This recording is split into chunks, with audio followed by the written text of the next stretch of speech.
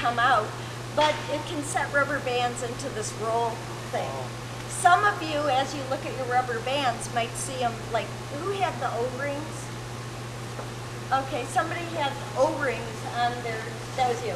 Yeah, On, instead of rubber bands, and the O-rings had formed little knots much larger than what the grommet would be. So, had he deployed with those O-rings all knotted up, it probably would have come through, but it may have hesitated. It may have, it may have, you know, caused an extra nanosecond. Yeah, they do a lot of tugging. Yeah. Probably been okay. Probably. Right. So when we do the loop, we need it big enough so that the inside lines are not going to come through, but small enough that nothing's going to want to wrap around. So again, you use your judgment, and I always do a little squeeze here so that it doesn't flare, so that it's nice and it conforms to wanting to release. Okay. I also like the rubber bands not highly twisted, just because of that rolling effect. Are those just ordinary rubber bands or is it special, special material? They're rubber, rubber. I get them from American Rubber. If you need any, I have to buy 10 pounds at a time. Do you know how many rubber bands are in 10 pounds? Using four on each. Can you get it from an office supply place?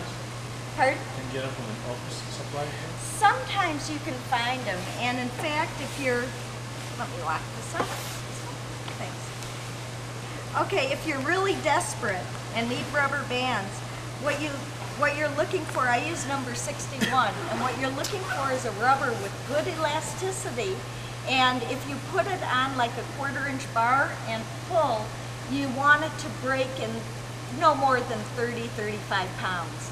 So you can use a fish scale and do pulls, and um, that's about the max you want it to break. It has to hold, and it's going to disintegrate in time. It, it, they weaken. Uh, part of the reason that we put this on loosely, in fact, is all these have to do is stow the lines. If you pull this tight and it's in the in the cold and in the heat, then it weakens this prematurely. We don't need a lot of tension. We don't need to have pre-stretch. We just need to hold the lines with it. Okay, so now if you have any question whether this is going to work, what you do is a slow pull. And you should see each band releasing without getting hung up. So, in fact, if you ever question how your parachute was packed, it's good just to hold hold the handle and do a slow pull. Everything should snake out in a nice orderly sequence without binding. If it does, then it's probably just fine. Okay, I talked a little bit before about friction causes heat, causes damage. So we want to minimize the amount of friction we have. This is the line compartment, and if you notice, the mouth of this compartment smaller than the, than the bag. So when I stow the lines, I'm going to start coming up the nearest side, it doesn't matter which side it is, the nearest side, and I'm going to progressively S them down, uh, down the pocket.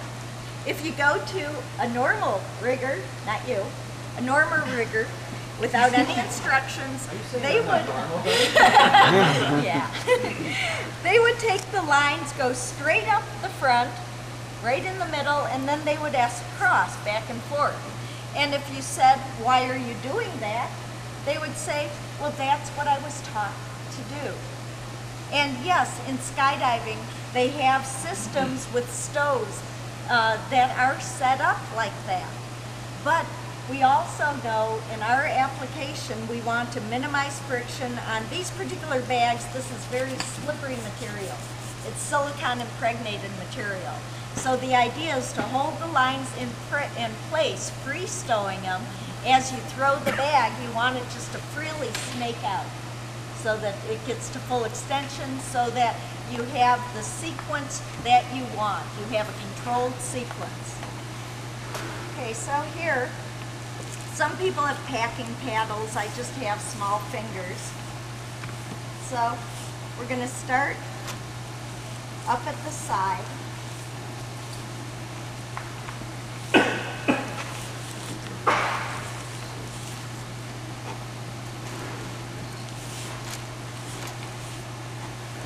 Betty, is it ever acceptable to maybe put a, a real small rubber band to help hold the essence? Like right out there on the ends, kind of like you did here? Why would you want to do that? Just to hold the essence there a In the bit. bag? Yeah. I have seen, Uh, Because I've seen them like that. I know. I've seen a lot of home backdrops come through with rubber bands, maybe. Right, right. Um, I don't, Could it depends on your deployment bag, but on something like this, absolutely not. The more stuff that you have, the more stuff can get tangled, can get wrong. Sometimes just a little hesitation in a line coming out, especially with a slow speed deployment. Fast speed, no problem, it'll just whip that off. But slow speed is where we see the problems happening, where we want to keep the system as clean as possible. So if you use rubber bands, cut yourself off from your glider.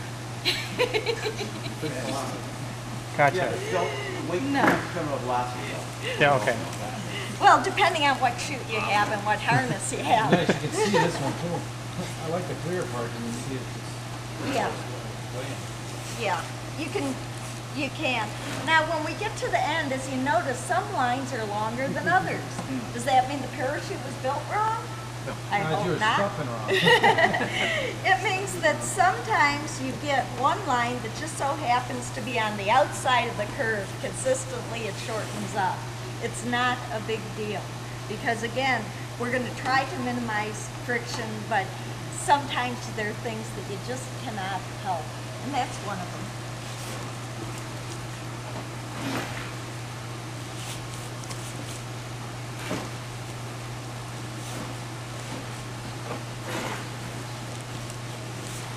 So what's the advantage of having that pocket with a smaller opening?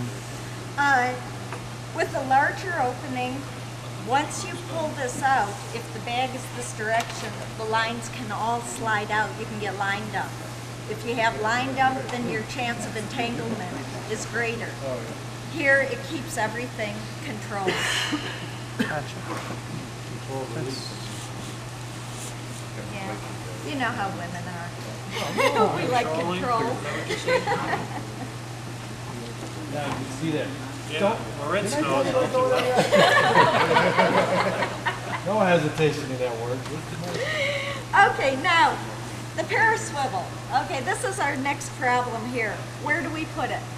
If we, I like to put it in the line pocket, but on some harnesses, since you're laying on the line pocket, you might feel this big clump, and that's not good. Okay?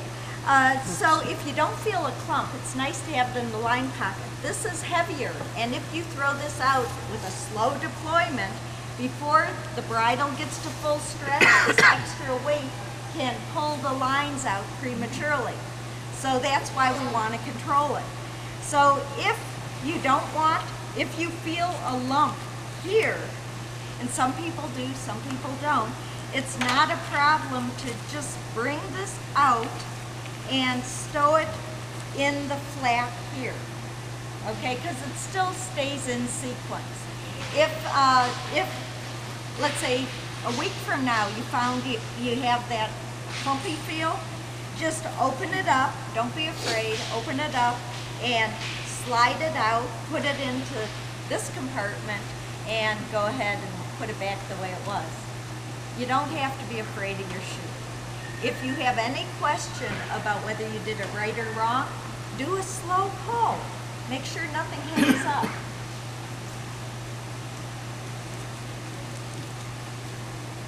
Okay, from here we're going to do our last locking stow.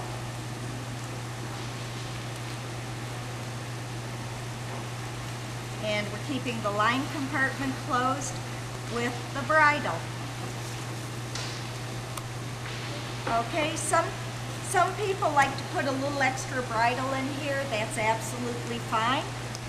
But my preference is just one loop of bridle.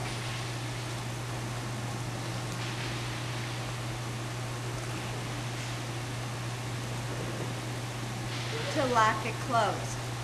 Okay, if you happen to have like one and, one and a half, one and three quarter inch webbing bridles, and I haven't seen any here, but what you can do so you don't get a big flare out here is literally you just pinch them. Pinch them so that it makes sense. They want to come out nice and easily.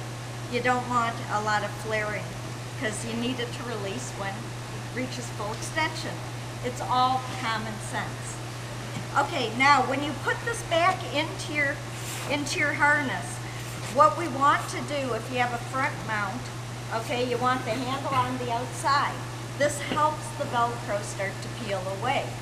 If you put it in this way, who is who is I talking to? You, yeah. And try to extract it. It pushes on all of the all the Velcro off and it sets up a shear load and it's very hard to get out. Okay? So you want it to come out this direction. In addition, remember when you get the parachute out of your harness to throw it, you want the bridle to remain in the harness. Most of you may have noticed as you opened up your Velcro to get the parachute out, a part of the Velcro at the bottom remained closed. In fact, almost all of you. Nobody had a totally open container. You don't have arms that long. So the reason this stays closed is that's where your bridle is housed. It's free stowed back and forth. On the bottom, if I had a harness on, it would be right under the parachute on this platform. The reason we do it that way is, again, only as much bridle snakes out as is needed. It's just free stowed in there. If you if you put it in, you know, nice and neatly all underneath, you pull this out and you get bridle dump. Okay, so we want it to make sense. Um, some people take bridles, they S-fold them very neatly and put rubber bands on each side. So now you have a clump of bridle.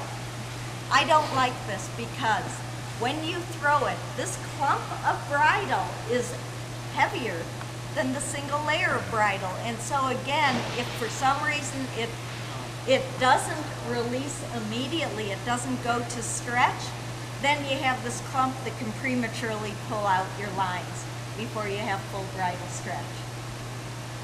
Make sense? Okay.